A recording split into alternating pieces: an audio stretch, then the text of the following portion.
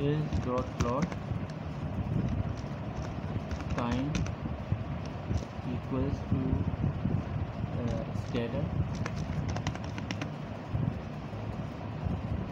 Scatter and then uh, you will put x or you will put calculated cost on the x column. Sorry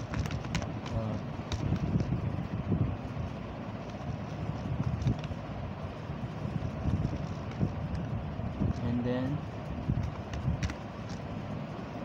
on the y co- y axis you will need to insert profit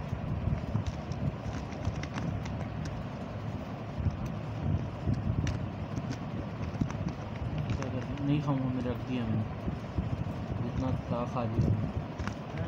नहीं six six and we will implement this code.